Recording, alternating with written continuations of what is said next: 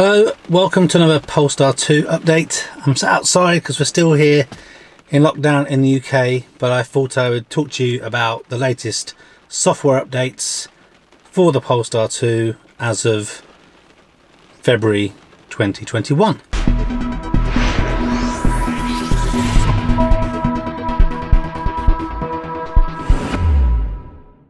Right, so I'm not sure how meaningful this first update of this kind is going to be on the channel. Moving forward, hopefully when I can use the car more and travel around and kind of get even more familiar with the vehicle, I'll be able to spot things a little bit easier. Still, uh, trying to see how many miles I've done now. 292 miles we've done, so um, not very many miles. But most people who has a Polestar 2 right now, if you haven't taken it into the dealers, you're going to be running software version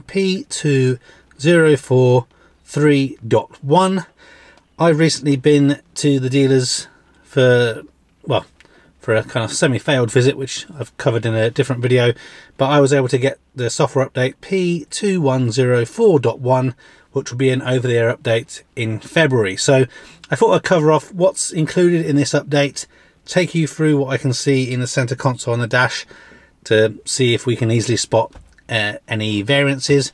As mentioned before, there's lots of things I still haven't done with this car due to being locked down. So I still haven't used the DC charger. I haven't used it loads at night to verify how good or different cameras are and all this kind of thing. But yeah, those things will improve over time. So I'll put this information up on the screen as well before we kind of turn the camera around to look at the main console. But these are the updates that's included in this P2104.1.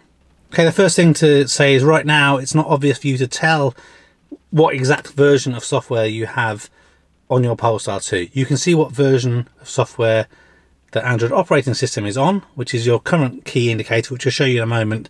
Um, but for now, you still can't see the current Polestar 2 software version, which they say they will kind of fix in the future. So Release notes for this version are Android 10Q, admin privileges for vehicle profiles, allows the profile owner to do a factory reset, Harman Kardon premium audio, enhanced surround. For the radio, FM and DAB linking for seamless listening experience. Note the radio favourites will be erased and need to be reprogrammed. Air quality visualization in China only. Kind of shame we don't get that here, I guess. Climate timers have got stability improvements. The 360 camera has had quality and stability improvements. Bluetooth, phone favourite contacts now sync with the car, general quality and stability improvements. The owner's manual has had some quality improvements. There's quite a few issues with the manuals not working uh, with the last update. Um, connected safety, Europe, North America, Cloud-based safety information share between Polestar and Volvo vehicles will help improve driving safety by warning other drivers of potential hazards. Be interested to see how that works out. Some range improvements, which I have seen. If you saw my last video, again, not a scientific test, but did see some uh, efficiency improvements. DC charging, incremental speed improvements. So that'd be interesting. Again, I've not been able to do a DC charge yet. And AC charging stability improvements. I'm trying to think. I have done one little overnight charge since I had the software update, but personally I've not seen any charging issues myself. So that's it. Gonna turn the camera around now, first so that we can see uh, the driver's binnacle, and then we'll go over to the main touchscreen and go through the different options so we can see if there's anything glaringly obvious. Okay, start off with the driver's binnacle here. So the first mode, to me, look, everything looks exactly the same. Second mode again, everything looks the same. Third, the only thing a couple of people have said that the, the map now takes up even more of the screen, so all the way around more into the corners as opposed to being cut off. Personally, I can't remember exactly what that looked like before to really gauge if things are any different or not. Let's move over now to the main screen and take you through all the menu options. Okay, so apologies, I don't have my tripod for this, which I will definitely make sure I grab in the future.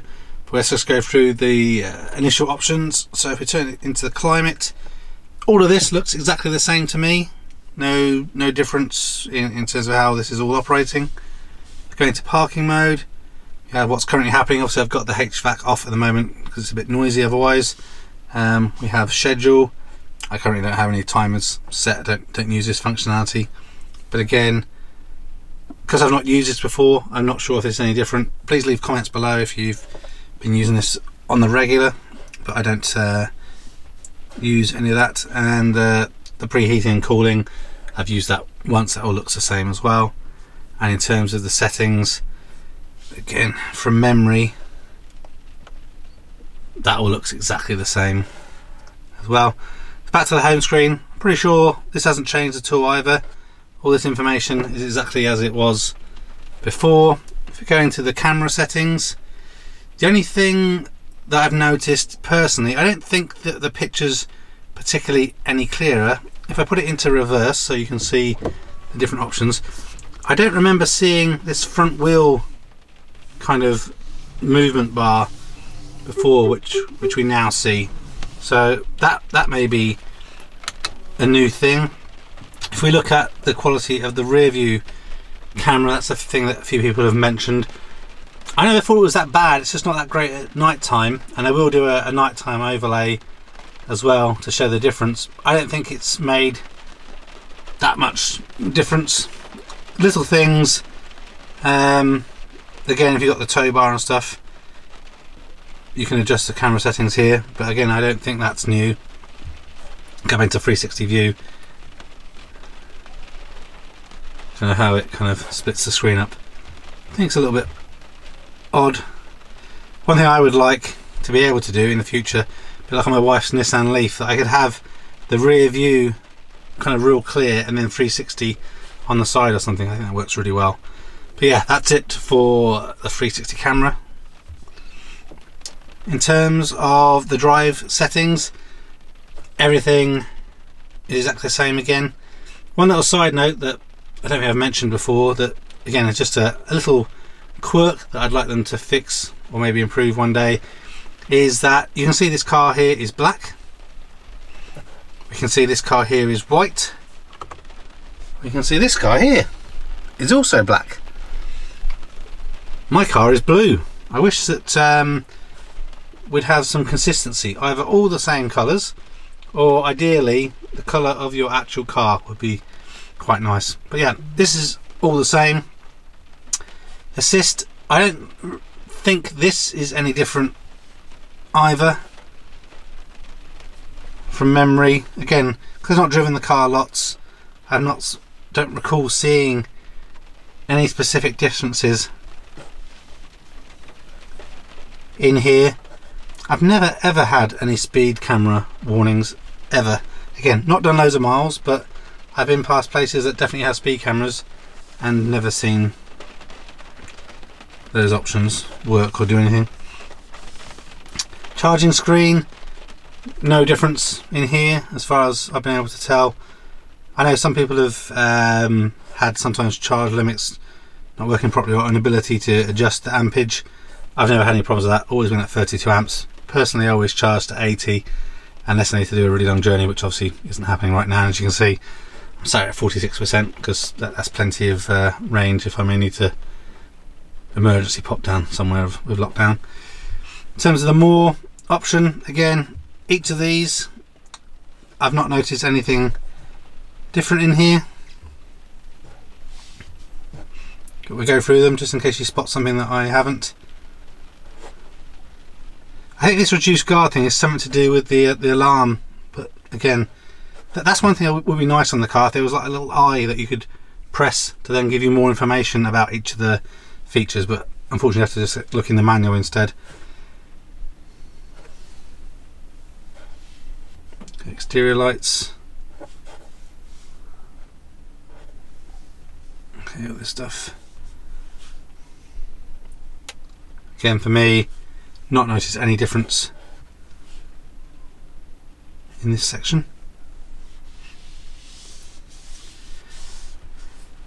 Go into the apps screen. There has been an update to Google Maps which improves the, the route calculations a little bit. But again, apart from that, everything seems to be exactly the same.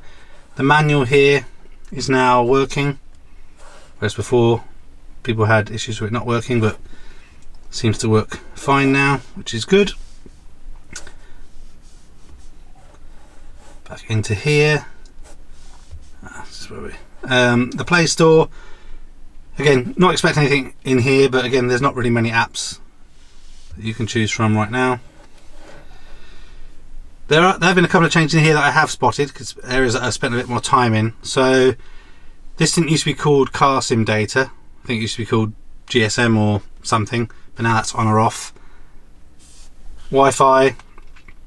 Um, this is working much much better than it used to be. You can see up here, I'm currently connected to Wi-Fi, which is why you don't see the LTE option just there.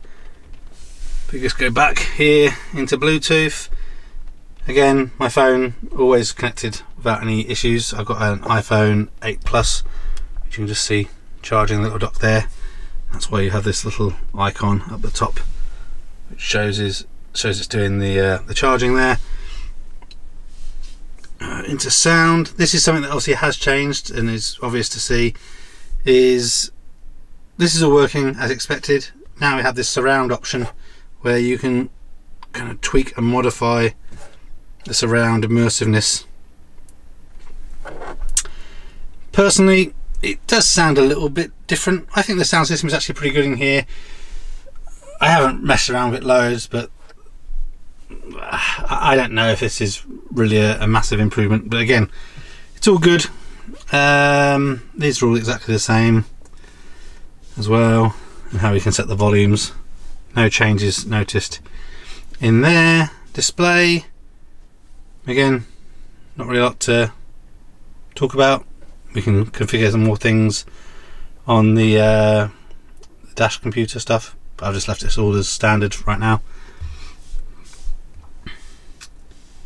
assistant voice input again I've not noticed any difference in that one that all looks exactly the same to me as before apps and notifications. Again I've looked through here nothing special I've noticed has changed in there either. Previously in data sharings this all seems the same as it always was. I haven't again not noticed any issues or problems in any that section. The Google piece again that all looks exactly the same as well. Not noticed any changes uh, for the user in there. There is a little bit of information that's changed uh, on this page so languages and inputs that seems to be exactly the same as it was before date and time again also the same Then we have, oh, actually that's one thing with the date and time. I wish if you weren't using 24 hour format like I, I don't like the 24 hour format. Um, if it said AM or PM up there, but again, not the end of the world. It just, it's weird because it implies that it would, like 1 PM, but it doesn't. It's kind of strange. But yeah, not the end of the world. Um, into the about section. So this is really the main area you're going to see a difference when you're checking out your car. So we can see here Android 10, uh, 1st of December 2020 patch level. This is how you know you've got the most latest software version as of the time of doing this video right now. Again, nothing to do with the Polestar software version, just the Android version. There used to be a, a Wi-Fi MAC address piece down here as well. That's completely gone. Never had any information in there anyway. Um, that was never displayed. But yeah, you can see uh, the rest of the information there. Storage, not much any difference in there either, 36 gigabytes of storage available still on the system. We've got the reset options and legal information.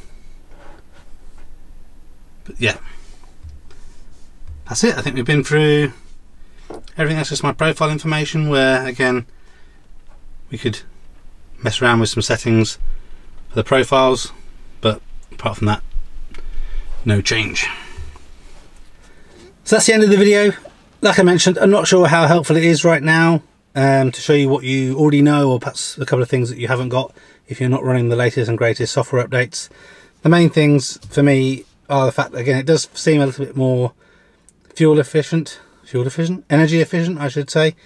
Um, but everything else, again, touch wood, I've not had that many kind of real issues or problems with my Polestar 2. Still enjoying the car.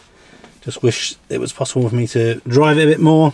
But yeah, one thing that would be great if Polestar kind of do a little bit like what Tesla did. I used to have a Tesla Model S before, which I guess why I'm referencing it is they would show on the screen after there'd been a software update, which um, Polestar don't do, as well as showing some information um, about what the software update does. One thing I just remembered that I don't think I showed in here. That's right, let me just show you now. So in the software update screen, you used to be able to go to that and it would show when it last checked in for a software update and you could press the button to see if there was any new update and it would say no you're running the latest version of the software they've got rid of that now so you now just have this software update screen which by default has been set to off and you can turn it to on but there's no way for you to see that again as far as the car is concerned it's running the latest software update um, and you can't kind of ask it to check so it's certainly kind of seems to me odd that they're taking it away I'm not sure if it's a Android update version that Android 10 doesn't support that. I don't know, I'm, not an Android user uh, outside of this car, so I can't really comment it. I'll just swing the camera around so that you can quickly see that. So there is the, the screen. So again, by default, when I got the car back, it was in off mode. I put it to on, but you can't see kind of anything else about whether the software update is available or not. So thanks as always for watching. More Polestar 2 related videos coming uh, a few more things that I want to kind of check out and talk about. But yeah, that was it for this upcoming update. Again, like I said, if you haven't got this already, I wouldn't take the trip to the dealers specifically for this software update unless you have something else going on. But you know, you do what you feel is best. But I think by the end of February, if you have over-the-air updates software versions available, then um, you will get this pushed to your car. So, yep, look after yourself leave a thumbs up, like, share, comment, and uh, catch you on the next one.